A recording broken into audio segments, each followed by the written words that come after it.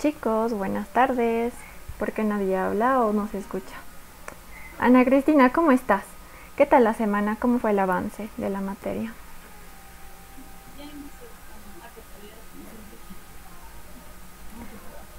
¿Qué avanzaron con la, con la licenciada? Dijo que de, de, de, de los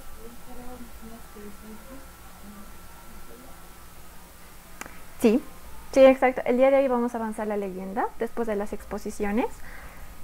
En realidad, eh, saben, o sea, ustedes tienen un, un avance muy, muy rápido porque el grupo 1 está con algunas complicaciones por algunas cancelaciones de clase, por feriados, por algunos motivos.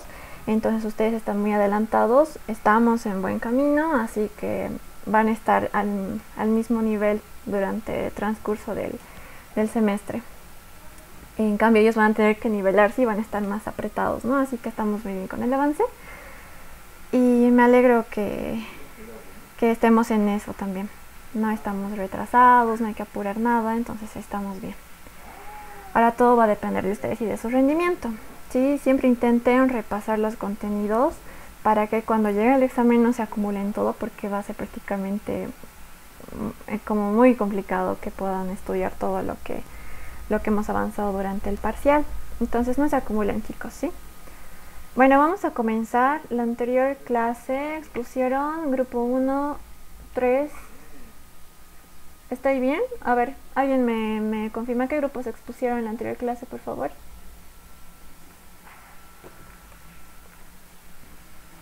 Buenos días, ay, buenas tardes. Me Hola, Bárbara. Mi grupo 1 expuso. Sí, ok, a ver. Hoy van a exponer, a ver, grupo 2, 5, 7, 8, 9, 10, 11, 12, 13. Son los que tengo anotados. Si falta algún grupo, igual me dicen, ¿sí? Vamos a comenzar de una vez. Y una recomendación. Están entrando con cuentas que no son institucionales, ¿sí? por favor entren con sus cuentas institucionales. Están apareciendo, aquí me aparece solicitud y dice, no es una persona externa a la universidad, entonces por favor controlen eso, entren con sus cuentas institucionales. Perfecto, yo aquí ya tengo las listas, como les comenté necesitaba en PDF para que podamos tener una mejor organización, para que pueda también tener acá todos los datos. Entonces vamos a pasar directamente con el grupo 2. Me han mandado dos veces su lista. Asumo que es la misma, simplemente la mandaron dos veces. ¿O hay algún otro motivo grupo 2?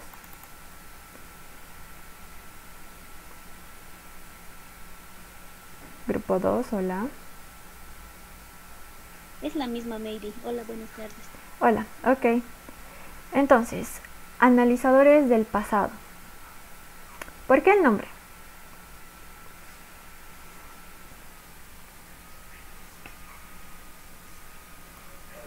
Porque se está analizando el pasado,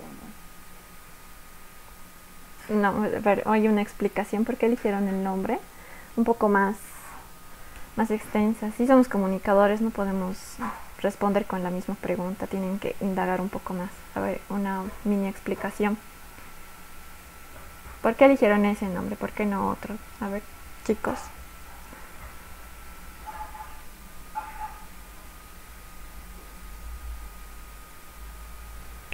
Chicos? Estamos estudiando la historia del mundo antiguo. Ya. Ya. A ver, lo que yo quiero es que participen y no se queden ahí calladitos, ¿sí? Porque si no, no va a funcionar. Tampoco es que yo tenga que obligarlos a hablar, tiene que nacer de ustedes no solo por la calificación, obviamente influye en la calificación, pero no funciona si yo los obligo. Incluso en otras clases, si no hablan cuando uno les pregunta, los eliminan de la sala, los expulsan. No quiero llegar a, esas instancias, pero evidentemente es, es una posibilidad, entonces por favor participen, siéntanse cómodos, compartamos conocimiento. Creo que es un lugar bastante cómodo para tener aciertos, errores y poder trabajar sobre ello. Así que por favor aprovechen y así vamos a mantener un ambiente tranquilo. Ok, grupo 2, eh, jefe Jonathan Elías Cándano Vicente. Voy a llamar lista. Junior Benito Arias Choque. Presente. Eliana García Claros. Presente. Nidia Danay Becerra Ortuste. Presente. Carla Rocha Fernández. Presente. Andrea Lidia Medina Peñaranda. Luis Fernando Zambrana Bustamante. Presente. Jonathan Elías Cándano Vicente. Está, ¿no? Presente. Perfecto, chicos. Analizadores del pasado. Buena lista en pantalla, compartan pantalla. Carla Rocha Fernández defienden trabajo, ¿sí?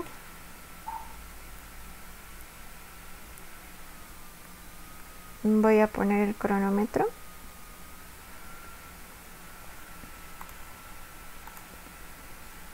Listo.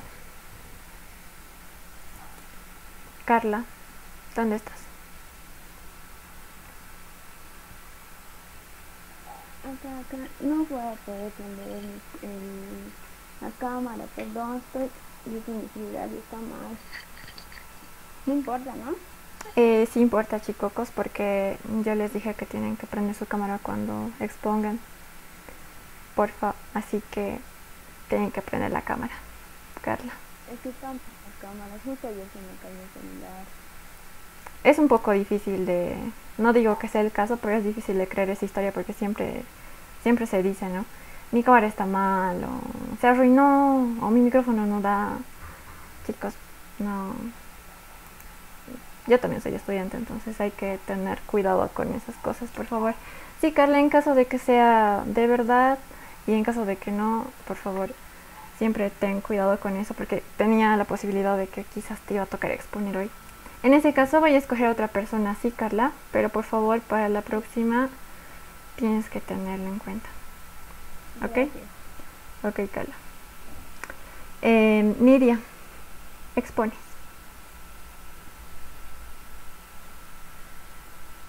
Chicos, rápido, por favor.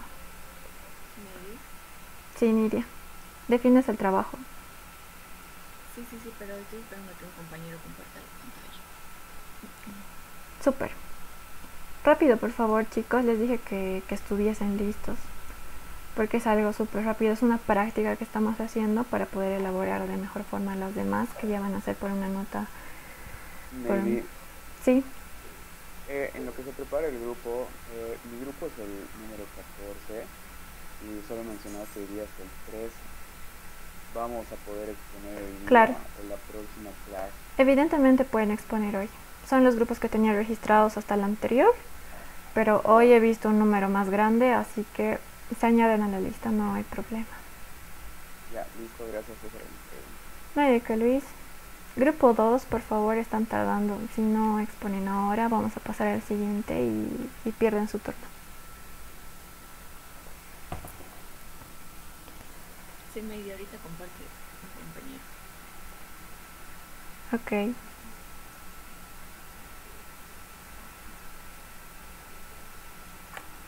Chicos. Sí, dime, José Antonio.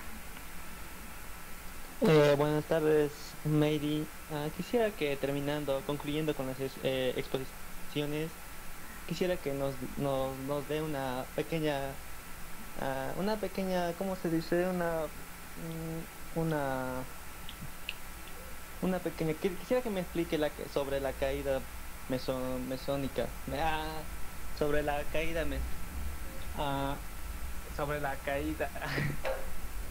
Sí. Mesónica, mesónica, mesónica. Sí, me, Micénica. Me, se me trabó la lengua. Sí, micénica. Se, se me trabó la lengua.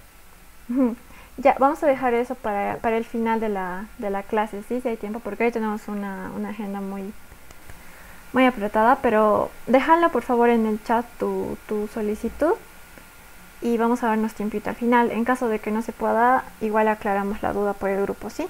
Pero déjalo ahí, por favor. José Antonio. Ya. Ya, maybe. Ok, ah, comenzamos con la exposición, Lidia. ¿Puedes verlo lo que está compartiendo? Sí, Sí, sí, se ve, no hay problema. Entonces yo te doy la orden y empieza, ¿sí? Dos minutos, dos, seg- dos segundos, dos minutos. En 3, 2, 1, ya. El arte de la civilización minoica, en la Creta de la, de la Edad de Bronce, exhibe su amor por el mundo animal, marino y vegetal. Estos motivos los frescos y la cerámica. También estaban inspirados en sus joyas, en los vasos de piedra y en la escultura. Los artistas minoicos se recreaban en los diseños fluidos y naturalistas, logrando una vivacidad ausente en el arte del Oriente Próximo contemporáneo. Además de sus cualidades estéticas, el arte minoico nos aporta valiosos atisbos sobre las prácticas religiosas, sociales y funerarias de una de las primeras culturas del Mediterráneo antiguo. Los minoicos, como, pue- como pueblo navegante, estaban en contacto con muchos países alrededor del Egeo, y esto se hace evidente en las influencias orientales, babilonias y egipcias que vemos en sus primeras formas artísticas, pero también en el comercio, especialmente de cerámica y alimentos. Intercambiaban aceite y vinos por objetos preciosos y materias primas, como el cobre de Chipre y el marfil de Egipto. Los artistas minoicos estaban expuestos constantemente al influjo de nuevas ideas y materiales que utilizaron para crear, para crear su arte único. El arte minoico no solo era funcional y decorativo, también podía cumplir una finalidad política, especialmente las pinturas murales de los palacios, donde sus gobernantes eran representados ejecutando sus tareas religiosas, para reforzar su papel como líderes de la comunidad. También ejecutando sus tareas religiosas para reforzar su papel como líderes de la comunidad. También es, es importante recordar que los objetos artísticos solían estar reservados a la élite gobernante, una minoría comparada con el resto de la población, que en su mayoría estaba formada por campesinos. Lidia, Lidia, ya se cumplieron los, los dos minutitos. Sí, una recomendación, sí. Esta, ustedes saben que estas exposiciones es para subsanar algunos detalles, errores, para que posteriormente les vaya mejor. Cuando yo les pida que expongan, sí, no lean, ¿ok? Se nota cuando las personas no están hablando, no están explicando, no les pide, no les he pedido, lean, sí, lean este párrafo, porque es muy monótono, es otro tipo de tonalidad. Sí, la consigna es exposición. Por eso les pido cámara, para que ustedes no tengan acá el texto, lo lean y todo eso. Entonces, es para que practiquen, igual la oratoria, están llevando una materia, pues puedo ayudarles, sí, pero no les va a ayudar como cuando ustedes van a practicar. Entonces, intenten siempre, no les pido memorizar, sino que todo lo que ustedes han aprendido siempre intentenlo transmitir, ¿ok? Así que corrijan eso para futuras exposiciones, es la palabra. Pero después está bien, está bien chicos, así que mejoren eso. Gracias Lidia, gracias grupo 2. Vamos a pasar al siguiente. A ver, hay algún chat por acá. Mm, está cargando, está cargando. Ya, mientras tanto voy a ver el otro grupo. Ok, ok José Antonio, le voy a anotar. Bueno, pasamos al siguiente grupo. Grupo 5. Grupo 5, Abya Yala. Jefe de grupo, Campo Verde, Velázquez, Laura, Andrea. Laura, ¿estás ahí? Sí. Ok, Laura, ¿por qué eligieron el nombre?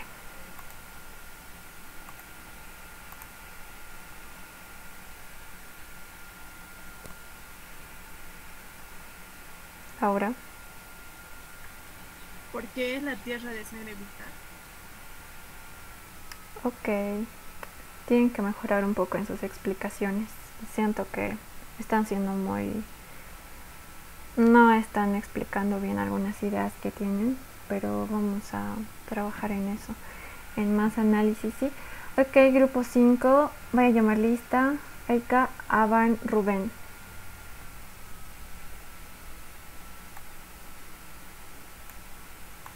Rubén. No está. Presente, presente. Ya, atentos, rápido, sí. Barrio Nuevo, Hurtado, Mayerly. Presente, estoy aquí. Campo Verde, Velázquez, Laura. Presente.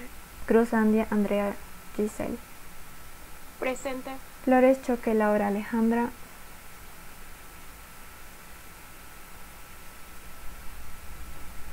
Presente. Paredes, Cantuta, Gerson, Teodosia. Teodosia, sí. Toribio, Mirreira, Benjamín. Presente. Ok, am, Barrio Nuevo Hurtado Mayerly. Defiendes el trabajo, ¿sí?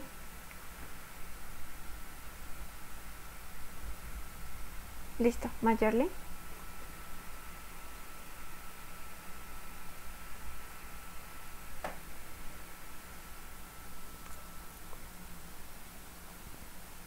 Chicos. Listo, se ve su pantalla.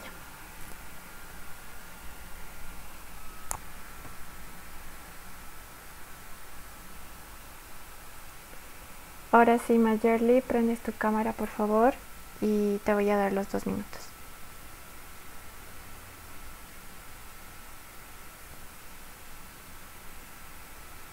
Mayerly.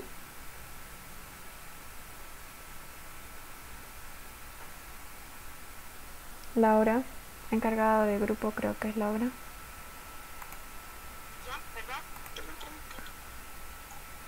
Sí, eh, Mayerly. Sí, sí, Laura. Eh, Mayerly tiene que defender. ¿No está lista? ¿O.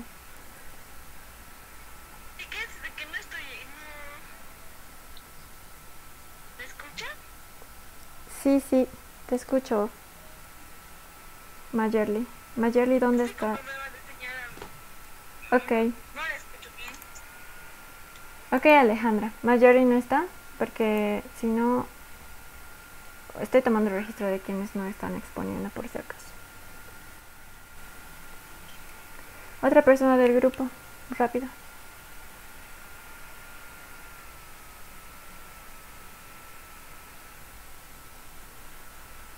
Chicos, no están despiertos, ¿qué pasa? Flores, Choque, Laura, Alejandra, ¿estás acá? Sí. Ya. Rubén, Rubén o Laura Alejandra Flores Choque. ¿Quién va a exponer?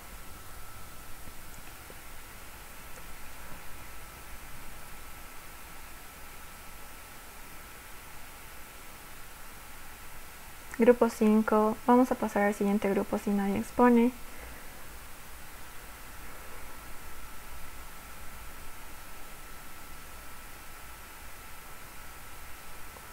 No hay nadie del grupo 5. Yo voy a exponer en medio. Ya, chicos. Em, sí, sí, sí. ¿Saben qué? Em, como en- esto, estos problemas, ¿no? Yo llamo a alguien, no responde, se sale de la reunión. O llamo a otra persona, no responde. Esto les baja puntos a todo el grupo. Ni siquiera solo a la persona, lastimosamente, por eso es trabajo grupal. Aparte de, de que se califica individualmente, también es grupal. Entonces, si un integrante lastimosamente tiene este tipo de problemas, entonces le baja nota al grupo. Tómenlo en cuenta, que eso se va a tomar también en, en próximos trabajos, así que no puede pasar esto. Aparte de que su grupo se perjudica, ¿sí? Así que tengan muy en cuenta todo esto. Para eso precisamente va a ser la tablita de porcentajes, para que sepa quién ha trabajado y quién no, pero en general también hay una nota grupal y les perjudica muchísimo. Así que tengan cuidado con eso. He tomado nota de Mayerly, por ejemplo, que la llamé, no respondió. Entonces está registrado como falta de participación también. Ténganlo en cuenta. Dale, Toribio Benjamín. Tienes dos minutos. Buenas tardes. Dale. Listo. Buenas tardes. eh, bueno, eh, yo voy a exponer sobre los micénicos. Los límites de la ciudad de los micénicos eh, eran hechas eh, por murallas, estaban construidos por murallas, por murallas ciclopeas. ¿Qué son eso? Son murallas construidas de gigan- eh, piedras grandes, ¿no? por así decirlo. los muros que estaban hechos de piedras enormes. Como su nombre lo dice, porque cuenta una leyenda que antes había gigantes, supuestamente había gigantes, pero eh, supuestamente esos gigantes lo han ido acomodando las piedras así alrededor de las murallas. Es la leyenda de los micénicos.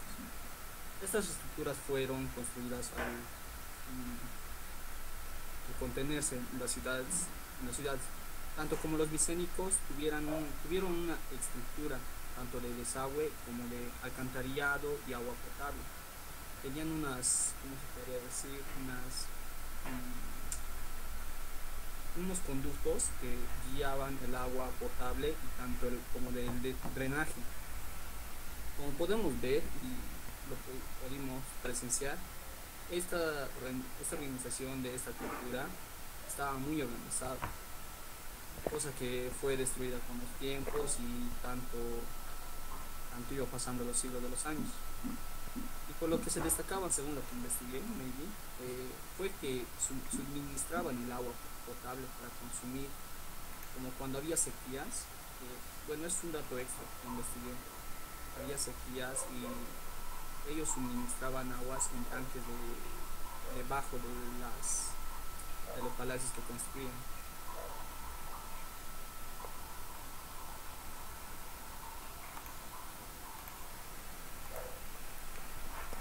Bien, eh, te sobraron alrededor de 5 segundos, entonces vamos por un buen promedio. Bien, gracias. Eh, estuvo bien. Sí se nota que en esta ocasión no fue una lectura, lectura como en anterior, entonces vayan rescatando lo bueno, lo malo de su grupo y de otros.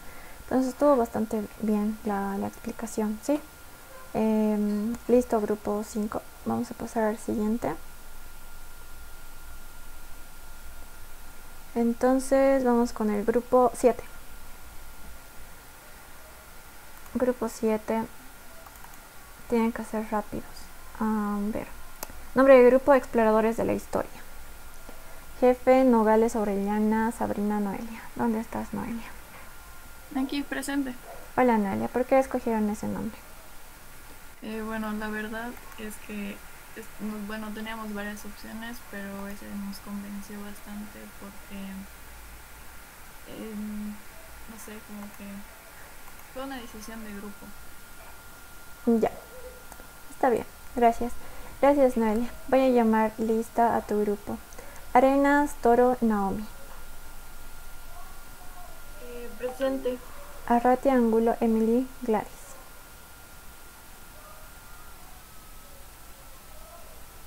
No está Ratia. Kauna Jiménez. ¿Presente se me escucha? Sí, sí, se escucha. Se escucha. Kauna Jiménez, Janet Jimena. Su micrófono está desactivado.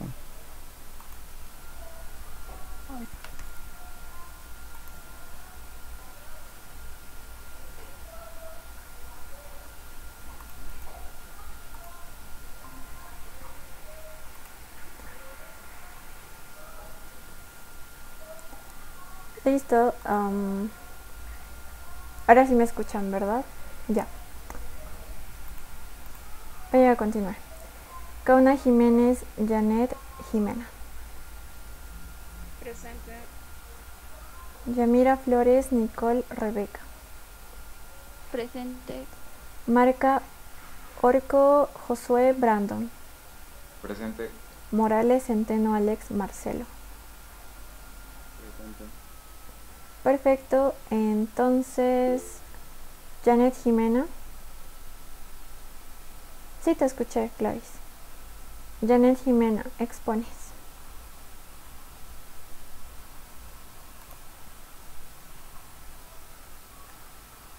Eh, disculpa, ¿puedo exponer a otra persona? Es que ahorita no cuento bien con, con la señal.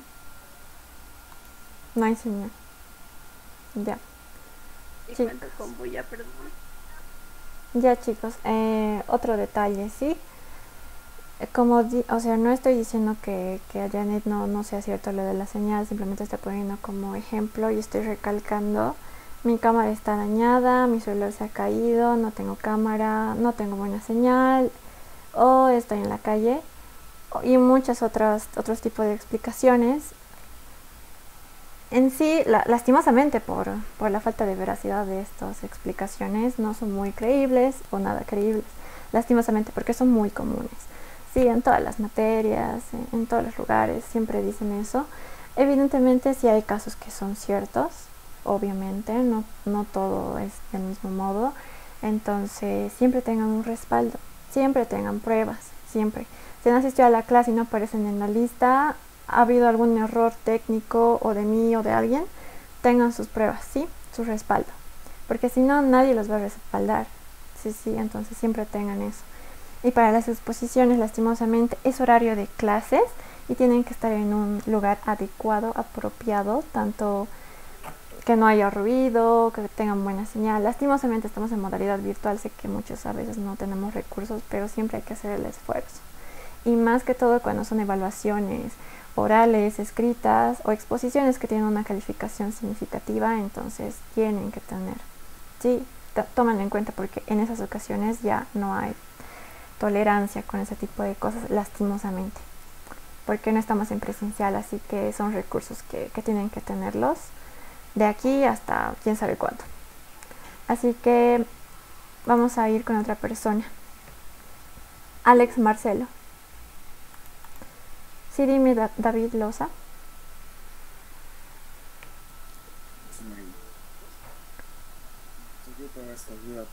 Creta. Eh, la isla de Creta es el, la isla más... Eh, es- espera, espera, espera, Marcelo. Voy a cronometrar, ¿sí? Ahora sí, dale. La isla de Creta es la isla que contiene más el mar Egeo y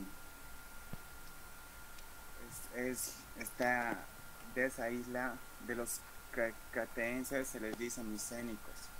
Los micénicos tienen una gran, una gran arquitectura ya que contaban con un palacio de dos a tres pisos, como también tenían un gran arte tenían un gran arte porque tenían sus tenían pinturas en sus palacios eh, también tenían esculturas pero no eran muy tomadas en cuenta. En oro como también en eh, si no me equivoco barro o arcilla. Eh, también tienen el rey Minos que también fue los, los minoicos. Su rey es el rey Minos que también fue destronado. Ah, ¿Será que me puede ayudar alguien más?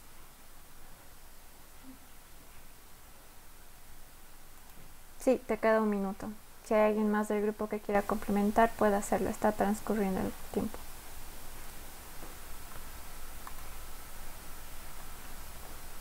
Eh, yo puedo complementar al grupo, pero no sé si se ve algo.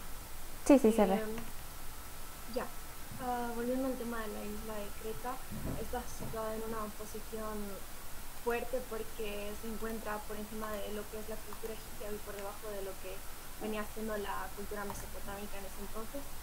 Eh, se destaca mucho por el hecho de su mm, eh, perdón, el dominio que tenía en los mares porque tenían una situación económica que les permitía poder mover cualquier tipo de mercancía que llevasen en ese entonces eh, de forma más fluida que para otras eh, culturas que habían entonces. De ahí que surge el crecimiento de su riqueza y de, del aumento del número de, la población.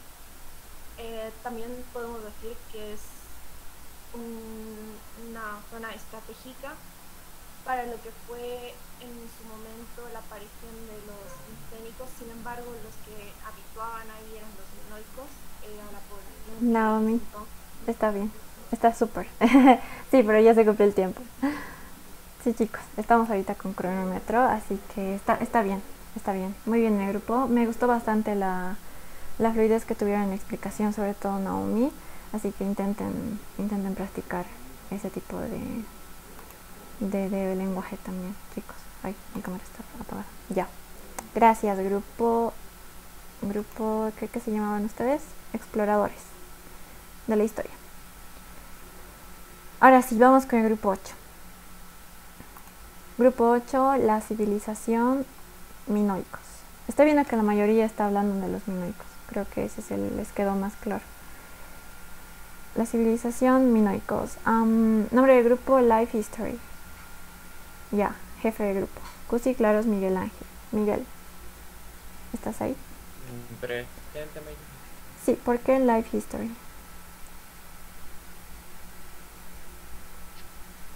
Mm, ah, tristemente no pudimos. ¿Enciendo la cámara? Sí, si deseas está perfecto. Bueno, tristemente no pudimos con- conversar mucho al respecto del nombre, pero creo que más fue porque nos pareció bonito a la mayoría y pues como no participaban todos y no pudimos tener esa charla de qué significaba y esto y esto, pues no le dimos mucho significado. Ya, porque sonaba cool. ya, ya Miguel. ya chicos, em, así como anexo, mientras tanto esté preparándose del grupo 8, voy a llamar lista, primero antes de, de darles la recomendación. Ya, Miguel Ángel está. Eh, Llanos Mendoza, Cristian Jesús, Presente. Borda García María Arlet, Borda García María Arlet, no está. Onofre Cruz, Oscar Mario. Presente. Montaño Santos, Elías Samuel. Presente. Laura Choque, Jacqueline. García Pérez, Marina.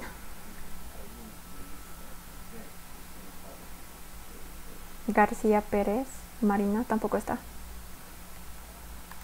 Ya. No hay dos integrantes de este grupo, entonces va a exponer a Llanos Mendoza, Cristian Jesús. Expone. Sí. Bueno, la recomendación que iba a hacer es para los jefes de grupo. Ustedes tienen que tener registro de quiénes están participando de su grupo y quiénes no. También tienen que ser responsables de organizarlos y todo aquello. Entonces, den el ejemplo también a los integrantes de su grupo. Sí, tienen que ser muy responsables. No da que un, un representante de grupo no dé el ejemplo. Entonces, tienen que tener registro de quiénes ahora he llamado lista. Ustedes tienen que controlar también. Porque en cierto momento, como son jefes de grupo, yo voy a pedir como que rendimiento de cuentas a los jefes de grupo porque ese es su título, sí es su cargo. Entonces tienen que hacerse cargo de lo que les ha tocado. Tienen que responsabilizarse con eso también. Am, posteriormente voy a estar hablando con ustedes también, ya con, con los, creo que son 14 jefes, para coordinar algunas cosas, recomendaciones y demás. Ahora sí, vamos contigo, Cristian Jesús. Bueno, vamos a hablar eh, directamente sobre el urbanismo minoico, que como hemos elegido la imagen se puede destacar, digamos, que eh, eh, nos damos referencia a las comodidades que se tenían en ese entonces, ya que, digamos, en ese momento el espacio urbano, digamos, se podría comparar con algo de la actualidad, pero obviamente que está hecho de barro.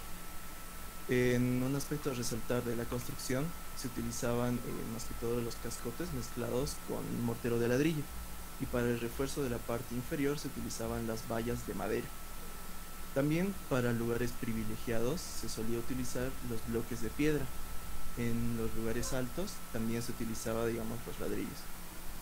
Eh, como se puede destacar en la imagen, varios edificios también, digamos, podían alcanzar incluso los cuatro pisos, en algunos casos más. Eh, si resaltamos el urbanismo, eh, podemos saber, digamos, también que también tenían eh, conductos de agua y alcantarillado a través de tuberías de arcilla.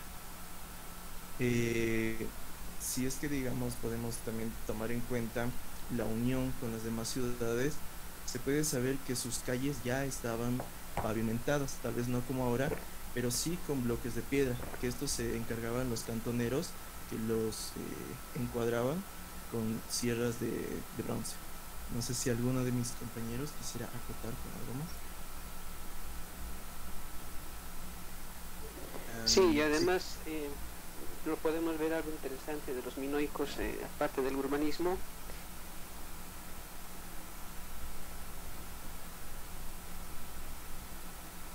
Eh, los minoicos fueron eh, un- un- el tema de la música, el tema de la lira, y también ellos practicaron lo que es el deporte del de boxeo, eh, de las carreras, las corridas de toros. Entonces eh, los minoicos realmente fueron, eh, se puede decir, un pueblo muy avanzado del occidente. Ya, perfecto. Justo son los dos minutos y tres segundos. Gracias Oscar Mario y Cristian Jesús del mismo modo.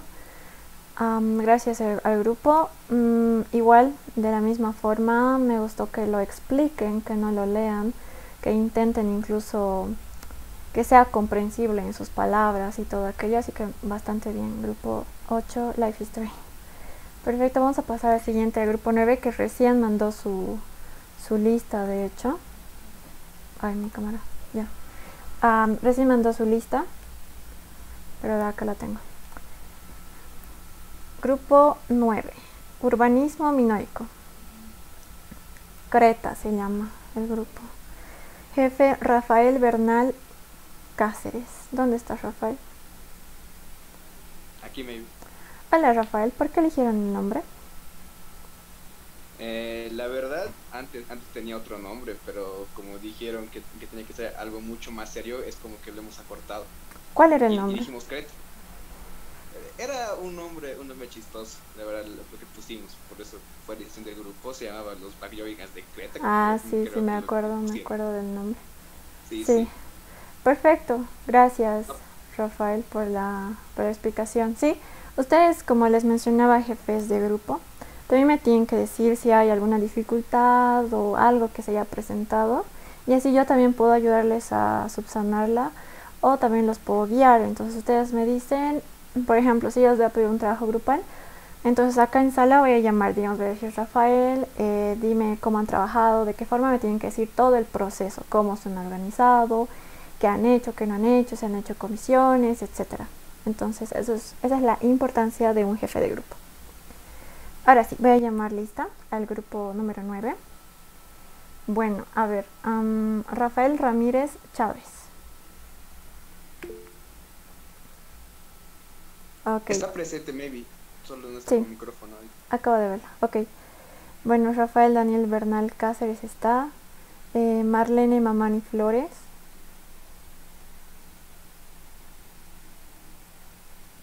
Marlene, no está Marlene.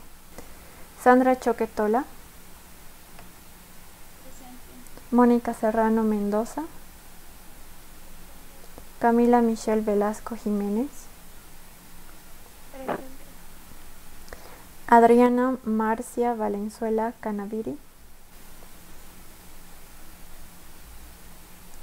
No está. Shirley Vanessa Castro Huanca.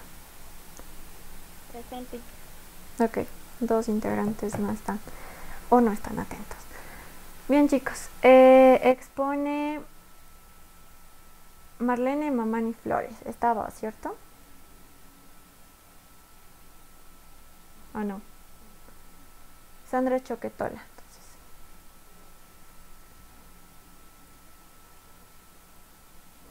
Voy a cronometrar. Ya, listo.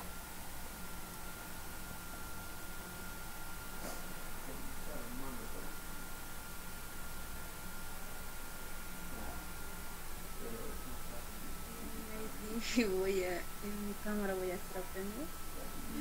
Sí, tienes que poner la cámara, Sandra. Está oscuro. No, sí, sí, te veo perfecto. No te preocupes, tranquila. Tienes dos minutos, ¿ok? Dale, Sandra, empieza. Eh, nosotros vamos a exponer sobre urbanismo minoico. Y en la imagen podemos ver un, un palacio Era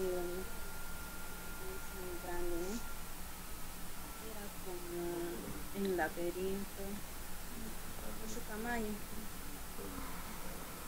En el palacio se puede apreciar los cuadros los cuadros y también los colores que había en las paredes. Ya que era muy llamativo también, eh, por ejemplo, mm, los colores. También en el palacio exhibían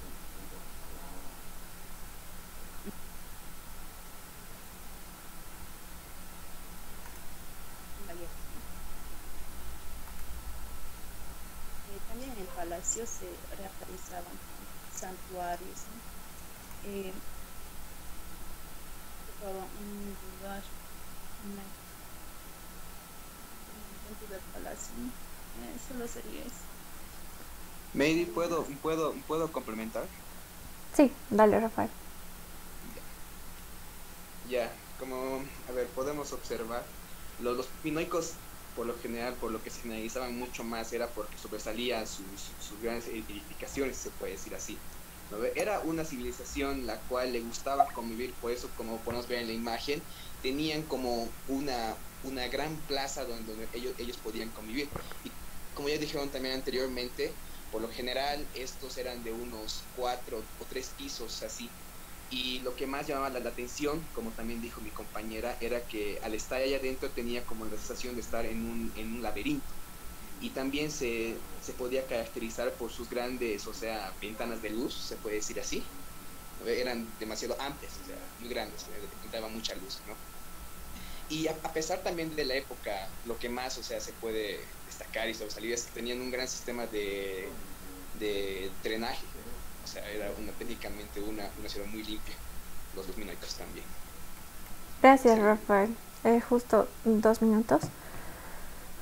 Sí, está bien, eh, bastante bien. Bueno, a ver, eh, Sandra, te falta un poquito más de seguridad y quizás para eso, evidentemente, preparación, ¿no? Tienes que leer, tienes que informarte más sobre el tema que, que tienen que exponer y demás para que eso te brinde seguridad al momento de hablar. A veces cuando uno prende la cámara se pone nervioso o se pone tímido o, o se preocupa, ay no, ¿cómo me voy a ver? Entonces, sí, obviamente, y también es parte de, lastimosamente o afortunadamente, no, no, sé, no sé en realidad si es algo bueno o malo, un poco de ambos, de la nueva modalidad virtual y no solamente en la universidad, en el colegio, sino en todos los ámbitos. Entonces uno tiene que ya acostumbrarse a interactuar, a manejar incluso el lenguaje no solamente verbal, sino gestual, y es más difícil en persona cuando se hace parar a un estudiante enfrente de todo el aula, uno se puede dar más cuenta cuando está ¿no? exponiendo la postura, la mirada y todo aquello, evidentemente da más facilidad para uno darse cuenta de realmente ¿no? la preparación en sí del estudiante. Acá, cámara, cámara apagada, entonces agarran la hoja, empiezan a leer. O empiezan a, como dicen eh, Jordan, paspaquear. Empiezan a paspaquear al licenciado, a la licenciada, al docente y no hay preparación. Entonces, cámara prendida, hay un poco más de, presión. Cuando damos examen para ser auxiliares, evidentemente es un, con cámara prendida, nos van a tomar con cámara apagada y podemos agarrar el libro y empezar a leer. Entonces ahí está la interacción que uno tiene como, como una persona que está en formación, pero que tiene que tener toda, toda esa capacidad de poder hablar, aunque es con una cámara, pero a través de esa cámara estás con muchas personas, entonces es un poco más difícil, obviamente, pero es algo en lo que uno tiene que aprender y trabajar también. Sí, es normal. Estamos acá para practicar como les he dicho. Ahora no tiene puntaje, pero claramente va a tener su puntaje en algún momento y precisamente es para esto esta práctica que estoy haciendo. Porque tranquilamente yo puedo decirles ya para tal día 10 puntos, hacen esto, el otro, me entregan un informe, exponen y hubiesen estado perdidos. Sí, usualmente se hace así porque igual uno se ahorra tiempo, pero a mí me interesa que se vayan de aquí aprendiendo por lo menos cosas que les vayan a servir y no solamente memorizar fechas. Entonces, eh, eso, rescatar eso también como modo de consejo, pero no te preocupes, Sandra, es cuestión de práctica todo, todo en esta vida es cuestión de práctica, así que tienes que practicar al igual que tus compañeros, si no todos somos expertos. Yo, ustedes, los mismos licenciados también no tienen a veces una buena fluidez y por eso no los entendemos cuando están hablando. Eh, Rafael, por otro lado, lo hizo de mejor, más seguro, con más precisión y pues eso, así que los demás grupos también vean todos esos aspectos. Eso chicos, eh, perfecto al grupo 9. Gracias. Ahora vamos al grupo 10. Se llama Gente de Cultura. Jefe de grupo Álvaro Mauricio Ticona Canaviel. ok, ¿por qué el nombre del grupo? Uh, bueno, al principio era más que todo porque los nombres que nosotros queríamos ya, ya lo habíamos cogido en el grupo y entonces mm, estábamos perdidos entonces pensamos entre nosotros mismos y dijimos, eh, eh, somos gente indagando sobre la cultura mitológica de esta civilización, entonces ¿por qué no? Y, lo pusimos. Y bueno, eso, esa fue la razón principal de, del nombre. Ok, gracias Álvaro. Eh, me gusta que, que, se vayan soltando más. Los jefes de grupo tienen que hacer este tipo de explicaciones. No me digan por qué sí, por qué no. El por qué conlleva más cosas. Entonces está bien. Gracias. Eh, gente de cultura entonces, integrantes. Álvaro Mauricio Ticón está. Ana Fabiola Chávez Escobar. Ana Fabiola, ¿no está? Erika Lisbeth Velarde Fernández. Presente. Rosa Mari Valderrama Zurita. Wendy Nayeli Arce Valdivia. Wendy mm, dijo que su micrófono estaba mal, pero no si está en la reunión. Así me dijo hace, hace poquito. Ya, tienen que corregir. Sí, es que se encuentra, bueno, no se encuentra muy disponible porque, si no me equivoco, me dijo que una de sus materias choca justamente en este horario, entonces creo que está con Mm. dos dispositivos y de uno no funciona su micrófono, si no me equivoco. Ya. Sí, eso fue algo que traté en un principio de, de semestre, les comenté. Lastimosamente no, no se puede hacer otra cosa. Cada materia tiene sus reglas, sus requisitos y el horario sale en PDF, entonces igual hay un simulador, así que uno también ve qué choca y qué no choca y lastimosamente en este tipo de trabajos, por ejemplo, tienen que hablar con su compañera porque si le toca exponer, entonces ahí les va a perjudicar a ustedes. Así que mm, por favor vean eso, prevean también. Entiendo que es difícil no llevar dos materias, pero lastimosamente no, no, no se puede hacer nada. O sea, la, los horarios han estado disponibles con, con mucha anticipación para que puedan evitar choques. Así que eso chicos. Ahora sí, en este grupo son poquitos. Son cinco. ¿Sí? ¿Por qué son poquitos? Bueno, eh, eh, hubo una especie de, digamos, un conflicto interno en el grupo. eh, una de las chicas, bueno, sugirió deslindarse de algunos que eh, ese día y en el resto de la semana, no me equivoco, no decían nada acerca del trabajo, cómo iba a hacer, y entonces, mm, pues hubo una división, por así decirlo, del grupo. Mm. Y eh, solo nos quedamos los que habíamos opinado o hablábamos en el grupo. Entonces, ese sería el motivo. Ya, acá serían entonces cinco integrantes. Sí, los grupos están, deberían estar con siete personas. Quizás hay personas que sobren, seguramente hay nuevos, hay personas que recién se han inscrito. Entonces quizás hay alguna de esas personas que aún no tiene grupo, podría considerar unirse a este grupo, al grupo número 10. Entonces, Álvaro, igual puedes ver si hay algunas personas que faltan, porque lo ideal es que todos los grupos estén con la misma cantidad de personas, excepto si es que sobran dos personas por el número de estudiantes. Entonces ahí evidentemente algún grupo va a tener o menos o más integrantes. Pero este grupo tiene espacio. Y respecto a la división, ahí ya tienes un, un postulante, a ver qué tal. Em, hay personas que no trabajan y hay que decirlo claro. Y no es porque, porque no me cae ni nada por el estilo. Sí somos estudiantes y lo más importante es que estamos en formación, no solo como comunicadores, profesionales y seres humanos. Y hay que tener ética y moral en todo lo que hagamos o hay que intentar tenerla. si no soy responsable, tengo que ser consciente, no faltar al respeto a mi otro compañero diciendo cosas que en realidad no son así o poniendo excusas que en realidad no son. Y como jefes de grupo, tienen que decir las cosas como son. Lastimosamente es, es así.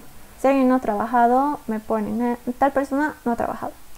Y siempre tengan respaldo, porque siempre hay confusiones, malos entendidos, a veces hay trabajos muchísimo más delicados y hay confusiones terribles. Y en semestres superiores hay mucho más. Entonces ustedes ya saben y se empiezan a conocer, saben quién trabaja, quién no trabaja, quién es responsable, quién no, a quién le vale, a quién no. Entonces vean todo eso. Pero sean muy sinceros y honestos, no porque la otra persona se la va a agarrar conmigo, se va a enojar mi amiga, entonces no, igual le voy a poner. O sea, hay personas que se esfuerzan. Es evidente y obvio que la misma nota no le va a corresponder, pero también es trabajo en equipo. Entonces, entre todos tienen que organizarse. Es arduo, es difícil, a muchos no les gusta trabajar en equipo por este tipo de cosas. Pero hay que aprender a hacerlo y hay que también saber decir las cosas como son. Sí, chicos, entonces si hay este tipo de conflictos igual, vean cómo solucionar, subsanar y en último caso, lastimosamente, si uno se tiene que dividir, entonces hay que ver las formas. Porque he visto y ya tengo un grupo número 15, ese día no tenía un grupo número 15 y me mandan una lista así, entonces yo digo de dónde aparecieron. Eso, como recomendación. Bueno, eh, tu grupo, Álvaro, am, hay una persona que no está. Entonces, Rosa Mari Valderrama Zurita. Un momento, por favor, en lo que comparto pantalla. Ok. Tú expones, Rosa sorry.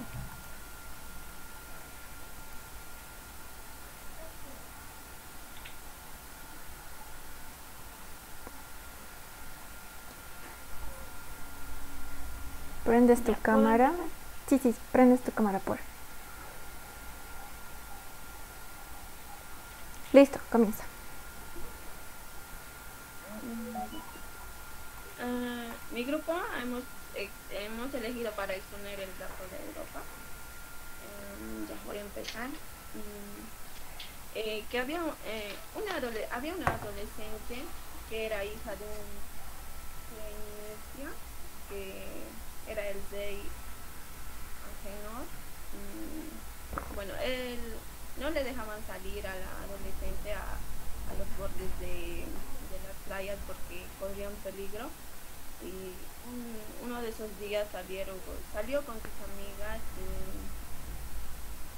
eh, de repente Zeus lo vio eh, y estaban ahí en la orilla y eh, de repente se convirtió en, en un toro blanco y después de eso fue fue atraída por su belleza y fue a- se acercó a la, a la joven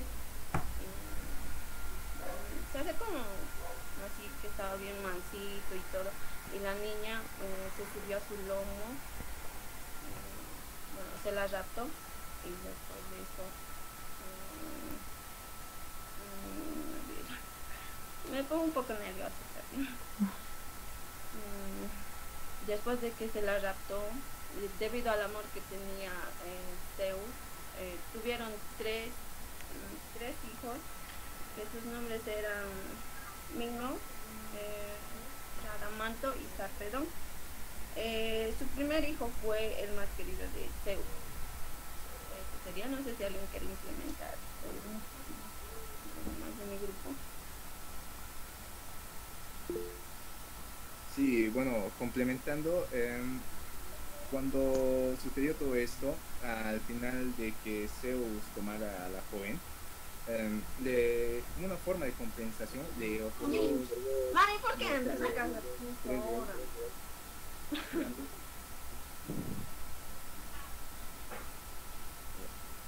Mm, bueno, sigo. Eh, le otorgó tres regalos, los cuales eran un... ¿Prendo mi cámara? Por cierto. Eh, sí, chicos, ya se terminó el tiempo. Eh, creo ya que la se... Salido. No, no, acá estoy, chicos. No, decía que ya se terminó el tiempo del grupo. Sí, acá estoy. Sí, chicos, a, a veces tengo problemas con el micrófono, así que me van a avisar, por favor, o de conexión. Entonces, me esperan porque yo vuelvo a entrar ese momento. Sí, bueno, eh, chicos, sí, ya, ya se terminó el tiempo. Eh, Rosamari, ¿verdad? Ya. Eh, Rosamari estuvo, estuvo bien la explicación, pero aún como mencionaba igual anteriormente, te falta más seguridad. Para eso tienes que practicar más. Si te pones nerviosa, es normal, a todos nos da nervioso hacer las cosas. A veces eh, no estamos acostumbrados, pero tienes que practicar más. Y también los encargados, y no solo los encargados, no los encargados significa que van a hacer todo el trabajo, no. Si solo son la cabeza y todos los demás tienen que trabajar y ayudarse. Si hay alguna persona del grupo que evidentemente ve que una persona le falta o necesita ayuda en algo y lo puede hacer, hágalo, porque es por el bien de su grupo y también es eso es compañerismo y estamos intentando que este grupo se lleve bien, sí, que hay melos entendidos en dónde no, pero que trabajemos bien porque tenemos un camino largo por delante y nos vamos a ver las caras virtualmente todo el año, hasta diciembre. Así que hay que intentar que este ambiente sea fructífero también. Sí, chicos, entonces listo. Gracias, grupo 10. Vamos a pasar al, al siguiente grupo. Perfecto, grupo 11, entonces. Um, 11 Stories. Otro nombre en inglés. A ver, Chambi Vargas Lady, jefe de grupo. Eh, buenas tardes, Lady. Hola, Lady. Eh, ¿Por qué el nombre? Eh, eh, porque no se llamó la atención. De, to- de todos los números que dieron, este fue el que más nos llamó la atención. 11 Stories. Ya. em, ¿por, por qué 11 Stories? Porque saben el significado, ¿verdad? O solamente le ponen porque suena cool. Así honestamente. Por, por las 11 historias. Ya, entonces le- les pareció interesante el nombre. Ok. Ya, Lady. Entonces voy a llamar lista a tu grupo. Alanes Guzmán, Aleini Ruth. Castro Camacho, Carminia. Bueno, Chambi está. Coihuanca, Arismendi, Paola, Alejandra. Orellana, Arratia, Oliver, Fabián. Presente. Zurita, Ampuero, Nicole. Zurita. No está. Ceballos, Chávez, Andy, Andy, Brian. O Brian, no sé cómo quieres. Ceballos. No está. Ya, faltan dos integrantes. Bueno, am, sí, alguien levantó la mano, creo. Sí, Paola.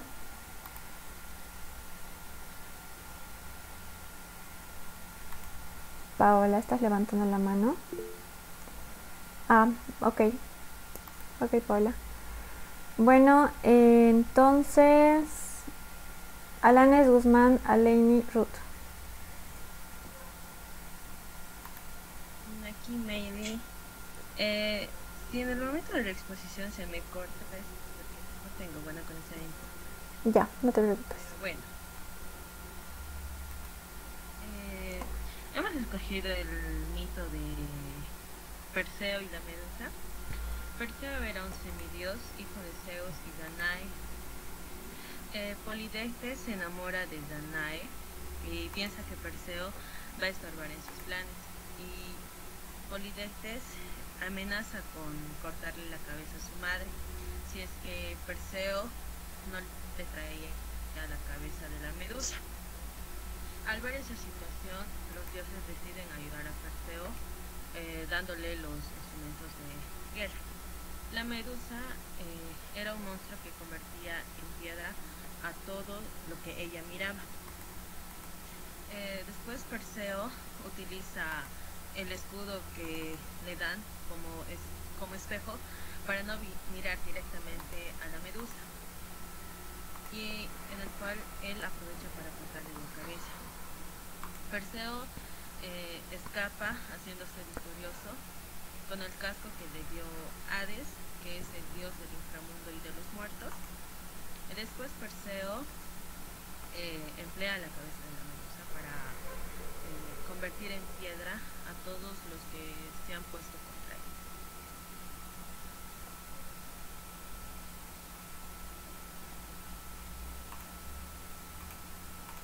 Quedan todavía segundos. ¿Alguien quiere complementar? Del grupo. Rapidito, porfa. Si no pasamos al siguiente directamente, estamos cortos de tiempo. Nadie, chicos. Ya. Como estamos cortos de tiempo, no voy a volver a preguntar si alguien quiere complementar. Entonces directamente pasamos al grupo 12. Memorias del pasado. Tatiana Cuellar Justiniano. Buenas tardes. Hola Tatiana. Eh, dime brevemente por qué eligieron el nombre. Mm, Ya, hemos tomado en cuenta este nombre. em, yo creo que más que todo por las trayectorias de las personas em, que vivieron en nuestro pasado y que gracias a ello y a cómo surgió la historia de la comunicación, hoy en día nosotros estamos estudiando la materia que lo hace parte de nuestra carrera. Y creo que más que todo es como un tipo de fervor a la historia. Perfecto. Gracias Tatiana. Voy a llamar lista a tu grupo. Jorge Nicolás Tapia Zuleta. Presente. Tatiana Cuellar Justiniano está. Amalia Almanza Manzano. Presente. Rodrigo Montesinos Luján. Presente. Marisol Onofre León. Presente. Sara Mena Núñez. Daniela Paola Díaz López. Presente. Expone Rodrigo Montesinos Luján. Dos minutos, ¿sí? Rápido, chicos, no nos va a alcanzar el tiempo.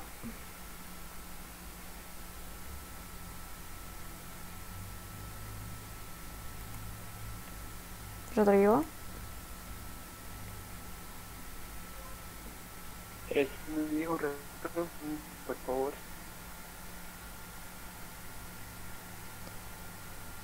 ya, rapidito, rapidito ahorita.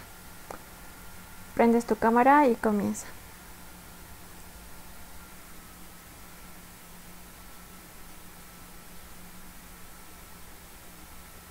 Rodrigo.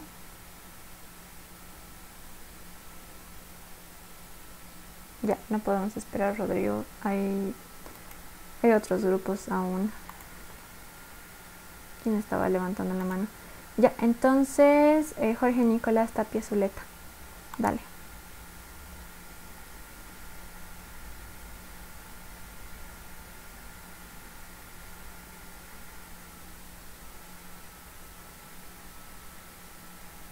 Chicos.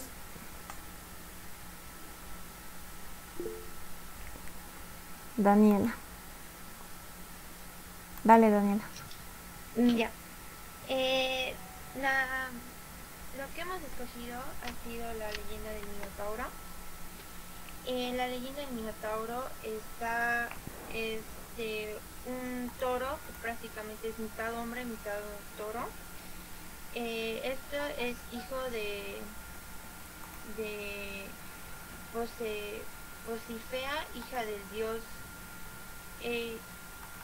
Ellos eh, prácticamente esto relata de que la princesa se enamora del toro, de un toro que el rey Minos para entonces se creía que tenía muchos, pero muchos favores de los dioses.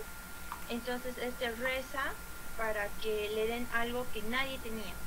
Y para entonces le dan un toro, un toro blanco que era majestuoso, era muy hermoso, el cual su esposa se enamora y esto también es por un castigo, ya que el dios del mar le dijo que lo tenía que sacrificar en honor hacia él, pero eh, no lo sacrifica, sacrifica otro toro.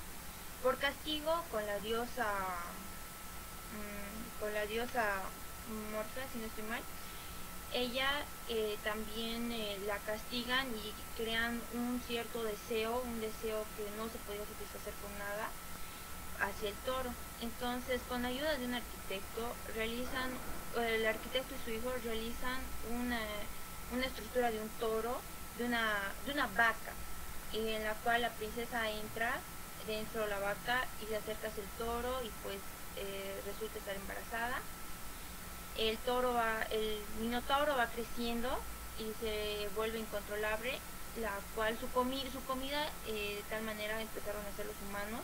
De castigo eh, lo llevan hacia una em, hacia un laberinto y eh, después de, de, un tiempo quien lo termina matando es Teseo porque eh, cada siete años llevaban a 14 mujeres y a 14 hombres a, a ser devorados por este fenómeno. Listo, Daniela. Gracias. Los dos minutos.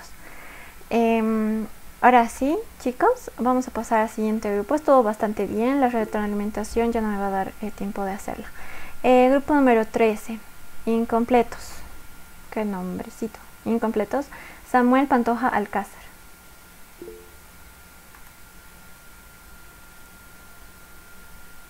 Sí, David, después, por favor.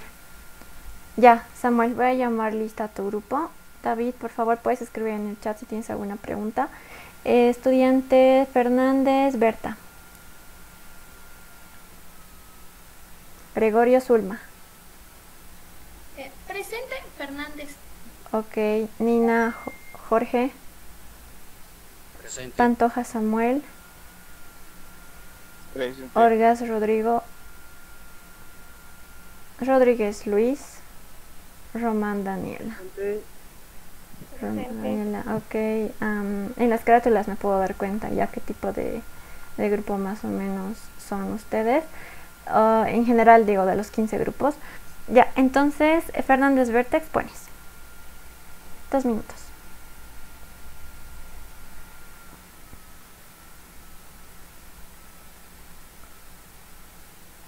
Fernández.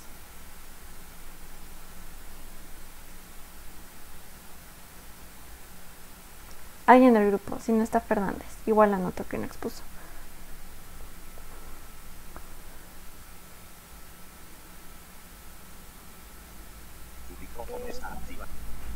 Hola, Baby. Eh, yo voy a exponer eh, sobre la religión minoica. ¿Se escucha? Sí, se escucha, puedes prender la cámara.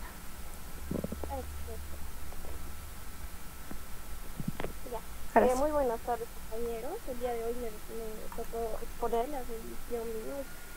La religión minoica, más que todo, en los años, en esos años los minoicos, creían mucho en las diosas.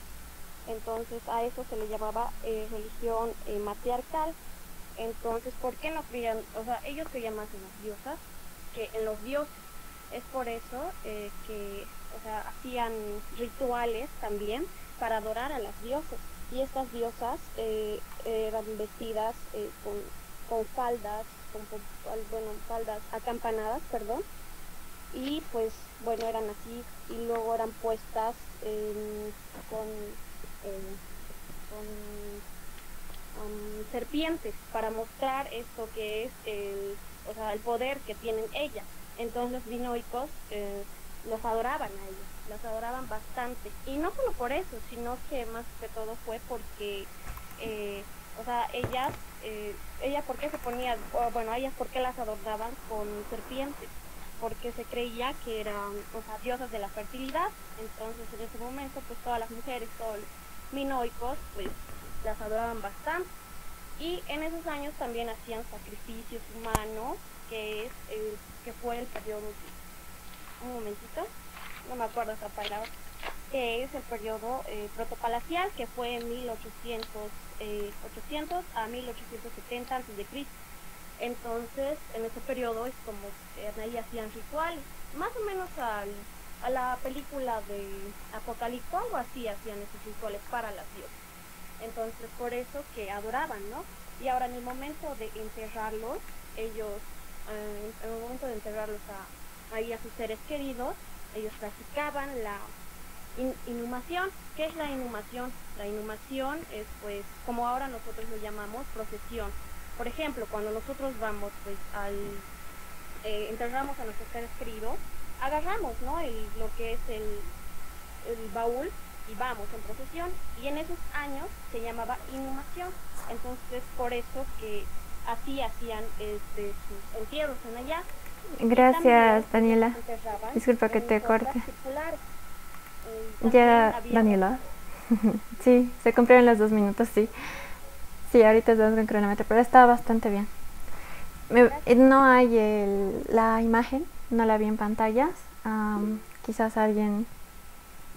A alguien ver, yo lo puedo poner para que sí, no te preocupes. eh, como ya se pasó el tiempo, entonces ya estamos cortos de tiempo, sí, pero para la próxima, por favor, tienen que prever todo eso, que pongan a tiempo. Em, mi grupo número 15, sí. Eh, grupo número 14 y 15. Lastimosamente, hoy no nos va a alcanzar el tiempo para ustedes porque hay que hablar sobre la leyenda de Dédalo e Ícaro. Así que para la siguiente clase, tengo entendido que la mayoría... Sí, sí, dime. Lady, porfa, en, en un minuto lo vamos a hacer rapidito porque todo lo que voy a explicar lo sabe mi grupo. O sea, saben ellos muy bien. Sí, entonces, no, al, al finalizar quizás la clase, es que estamos ahorita cortos de tiempo. Silvia, por favor. Sí, no te preocupes. Sí, es que alcanza el tiempo, sino directamente la, la próxima. Es que son muchos ustedes. Ahorita en sala estamos 87, en Classroom somos 120 y así que sí, Silvia, pero sí sé que han trabajado. Yo, yo estoy consciente de eso, así que no se preocupen. Entonces, eh, les voy a explicar después a los nuevos. De hecho, tendrían que preguntar a, a sus compañeros, pero igual si hay algunos que todavía están perdidos, sí me hablan. Eh, vamos a comenzar con la, con la exposición. Después, después, Eh, sí, sí, dime, Fernanda. Una cosita súper rápido. Este, en caso de que mi grupo este, no haya tenido la oportunidad de exponerse súper bien, así al máximo, y queremos, este, no sé, mejorar la nota, qué sé yo, ¿podríamos exponer algo? ¿O prepararnos? No sé. Este trabajo, les había dicho, es más para participación, pero no tiene los 10 puntos que va a tener el trabajo posterior. Es más para prepararlos. Así que si quieren demostrar el verdadero potencial de su grupo, háganlo en el trabajo oficial. ¿Sí? Mientras tanto, estén practicando. Así que luego, por favor. Ya, gracias. Perdón que esté apurado, pero es que son muchos ustedes, son demasiados. Eh, bueno, vamos a comenzar con la explicación. Usualmente cuando comparto pantalla se me corta el video, la, la cámara, así que la voy a poner ahora para compartirles la pantalla. Bueno, tomen apuntes sobre la famosa leyenda. Dédalo e. Bueno, pasamos de los micénicos minoicos a esta leyenda que tiene que ver mucho con ambas civilizaciones. Es una leyenda muy conocida, de hecho, que ustedes quizás muchos la conocen, otros no. Hay un video muy bonito sobre esta leyenda y se los voy a pasar para que la puedan ver así tipo película, que es bastante entretenido de hecho. Así que vamos a comenzar. Bueno, esta historia sobre Dédalo e Ícaro, como les decía, tiene que ver con ambas culturas. Dédalo era un genio inventor realmente era una persona muy ingeniosa para hacer inventos de todo tipo. Podía elaborar máquinas fantásticas y era conocido como el genio más grande de Grecia. Sí, Dédalo había nacido en Atenas y decían que esa habilidad tan grandiosa que tenía para fabricar o inventar cosas extraordinarias la había tenido de la diosa Atenea. Dédalo tenía un hijo, se llamaba Ícaro. Este hijo lastimosamente no tenía la misma habilidad que tenía su padre Dédalo. Ícaro era, un niño, era un, un niño muy torpe y no era nada hábil. Entonces, ¿qué pasa? Un día llega el hijo de la hermana de Dédalo, es decir, su sobrino, se llamaba Talos. Talos, el sobrino de Dédalo, tenía una capacidad impresionante para fabricar cosas al igual que él. Era un genio verdadero, era muy inteligente, era hábil y brillante. Entonces, Dédalo observaba a su sobrino, Talos, y se sentía mal porque su hijo, su propio hijo, no tenía esa habilidad y su sobrino sí. Usualmente Dédalo solía subir al techo y observaba toda Atenas, y le gustaba ver a las aves volar. Algo que quería hacer era poder volar, era un invento que quería lograr. Dédalo detestaba mucho a su sobrino, ¿por qué? Porque era brillante y su hijo no. Un día subieron al techo, Dédalo, Talos e Ícaro, pero Dédalo mandó a que Ícaro vaya a la cocina. Prácticamente era a propósito, porque ¿qué pasó? Una vez que estaban ahí los tres, Ícaro bajó, entonces Dédalo y Talos quedaron solos. Dédalo le mostró cómo volaban las aves y lo agarró y empezó a jugar con él como si lo hiciese volar, pero lo hizo caer del techo. Entonces su sobrino Talos murió porque Dédalo en un momento de locura quiso matar a su sobrino, solamente porque era tan brillante que le daba rabia, le daba bronca, que sea así y su hijo no. Luego del hecho de que Talos cayó del techo y murió, Dédalo no sabía qué hacer y se arrepintió y dijo, ¿por qué en un momento de locura cometí este crimen? Y, y se arrepintió muchísimo, porque después de todo era su sobrino y era un niño. Inmediatamente fue donde Ícaro y ambos huyeron. Huyeron de Atenas. Constantemente, Dédalo tenía muchas pesadillas, insomnios, soñaba como Talos caía del techo y tenía mucho miedo y también tenía mucho una conciencia que le pesaba mucho. Empezó a trabajar de cualquier cosa, hasta que llegaron a Creta. Ahí comenzó a vender juguetes, hacía juguetes y ¿dónde los vendía? No se olviden de la isla de Creta. Los vendía en el mercado de Nosos, como ustedes saben, capital de Creta. Un día, mientras él vendía los juguetes en el mercado de Nosos, llegó Minos. Minos era el rey de Creta. Todo esto ya lo vimos en la, en la parte de los minoicos.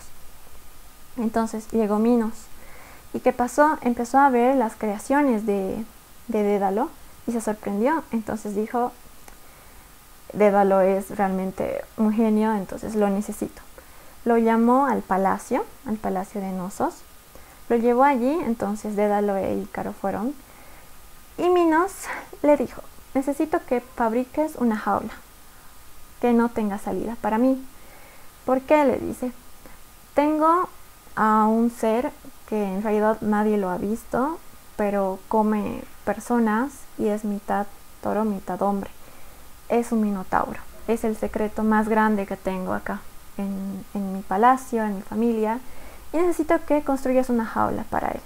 Entonces, Dédalo accedió y comenzó a construir esta, esta jaula para este ser. Esta jaula, como ustedes saben, los minoicos tenían unas construcciones que tenían forma de laberinto, como lo mencionaban sus compañeros.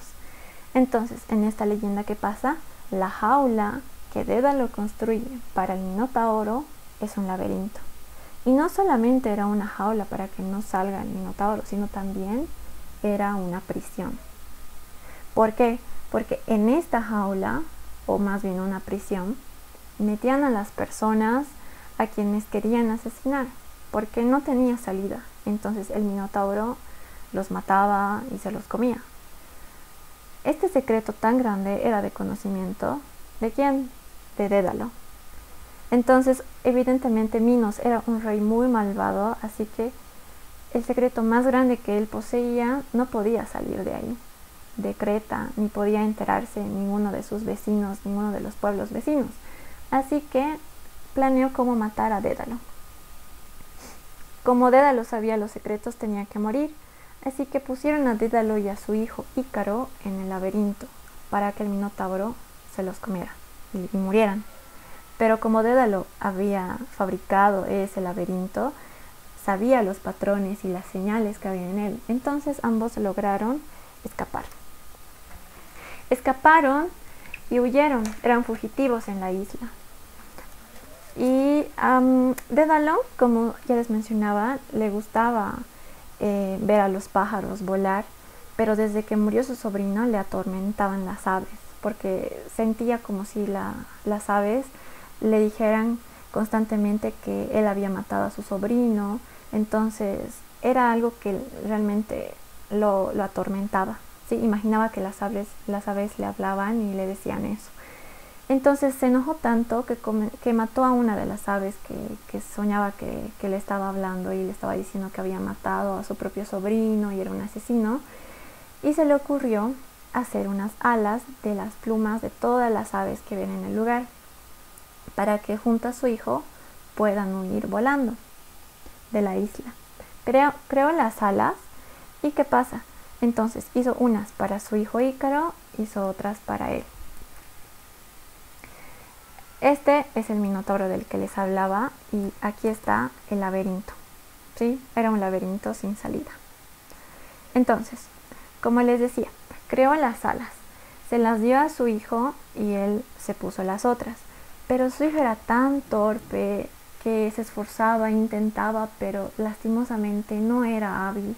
Así que Dédalo les recomiendo mil veces que cuando vuelen con las alas, por favor no suba mucho, no se eleve demasiado porque el sol podía quemar la cera que unía las plumas y que no baje mucho porque el agua del mar mojaría las alas y también podía, podía morir.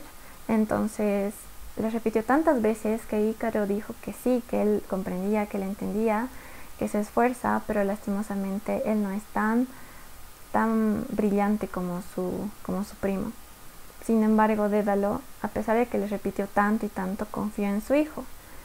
Ambos empezaron a volar para huir de la isla, pero cuando empezó a tomar confianza Ícaro, lastimosamente, pues la cera se empezó a derretir por el sol y cayó al mar.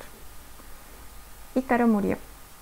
Esto destruyó totalmente a, Dédalo, porque había perdido a su, a su sobrino, perdió a su hijo y realmente sentía que ambos casos eran culpa suya, pero también pensó en el rey Minos porque sabía que por culpa de él y de su maldad estaban huyendo y si no hubiera sido por eso no hubiera fabricado las alas.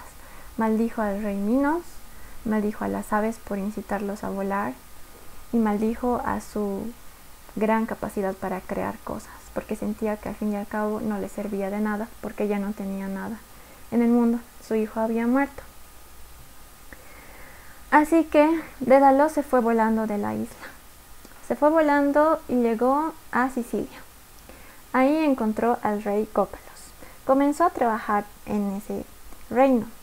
Eh, Cócalos tenía dos hijas y ellas eran niñas y alegraban la vida de Dédalos. En todo su dolor, él, él podía desahogarlo fabricando muñequitos de niños. Pero lastimosamente aún tenía Minos en mente como el culpable de la muerte de su hijo. Había un asunto pendiente entre Dédalo y Minos. Ay, chicos, voy a tomar lista antes de que, de que sea hora. Sí, ya. Entonces, ¿qué pasa? Pasa que el asunto pendiente era que Minos quería matar a, a Dédalo por todo lo que sabía. Pero del mismo modo, eh, Dédalo quería matar a Minos por haber eh, causado la muerte indirectamente de su hijo. Así que Minos quería atraer a Dédalo, pues sabía que estaba en algún lugar escondido. Así que lo atrajo y, hizo una trampa para que él pueda, pueda, pueda ir hacia Minos. ¿Qué pasa? Utilizó una caracola y dijo que la persona que pueda cruzar el hilo de, del vestido de su reina Pasífae, esa persona ganaría un tesoro. Así que Dédalo, como era tan brillante, entonces le enseñó a Cócalos, al rey Cócalos, cómo hacer eso. Utilizó hormiga, una hormiga y miel para que pueda pasar el hilo. Entonces Cócalos fue con la, con, a reclamar la recompensa, el tesoro. Fue y ahí Mino se dio cuenta que no era Cócalos quien lo había logrado, sino había sido Dédalo. Así que mandó a traer a Dédalo amenazando con iniciar una guerra si no lo hacían. Dédalo fue. Fue entonces, planearon la ejecución de Dédalo. Minos planeó esto. Pero ¿qué pasa? Dédalo había hecho muchas cosas dentro del reino. Así que conocía la estructura y todo eso. Así que cuando Minos estaba tomando un baño, Dédalo se las ingenió para entrar al cuarto de baño, conocía las tuberías y todo aquello. Entonces virtió agua caliente, algunos dicen que era aceite hirviendo, y quemó a Minos. De esa forma, Dédalo logró ser libre. Sin embargo, a pesar de todo eso, ¿qué pasa? Sintió que no existe paz en la venganza y sentía que moría lentamente, aunque ya era libre, porque fabricó todo menos una máquina del tiempo para convertir una figurilla de un niño en un muchacho. Esa es la historia, chicos, de Dédalo e Ícaro, la leyenda. Se las he contado casi a detalle, entonces eso es lo que teníamos que avanzar el día de hoy. Es muy bonita historia, también nos deja una moraleja de que no existe paz en la venganza, pero más allá de eso, una gran leyenda de la civilización que nos han dejado. ¿sí? Hay muchas versiones, como de todas las leyendas, pero elegí esta que me parece una de las, de las más coherentes también. Y les voy a pasar el video para que lo puedan ver, seguramente lo han imaginado, pero para que lo tengan un poco más claro. Esa es la historia chicos, y es hora. Con un minuto nos hemos pasado. Entonces, hasta acá sería el día de hoy. Les voy a pasar, como les digo, el videito para que lo vean otra vez. Espero que les haya gustado y hayan aprendido igual el día de hoy. ¿Hay alguna pregunta, duda, comentario? Mary, Dime. El- entonces la próxima clase el grupo 14 empieza exponiendo, ¿verdad? 14 empieza, luego 15 y termina las exposiciones. Listo, nos dejaste con las ganas, con las ganas, Mary, pero bueno. Para la próxima será. Son muchísimos. Luego. Listo chicos, entonces nos vemos la siguiente clase. Hasta luego, Maggie. Hasta luego. Chao chicos, que tengan una buena semana. Chao. Luego. Adiós chicos. Chao, Mary. Chao, chao.